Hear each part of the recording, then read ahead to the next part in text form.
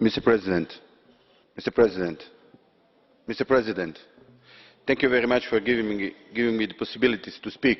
I hope that you will give also to other colleagues from ALDE party, because in the beginning you have not said if they will be okay. Thank you very much.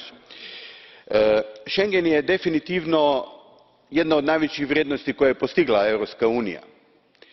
Schengen nije samo lagodan prijelaz granične crte, Schengen nije samo manje redova ili gotovo praktički uglavnom nigdje ni nema redova na graničnim crtama gdje imamo schengen.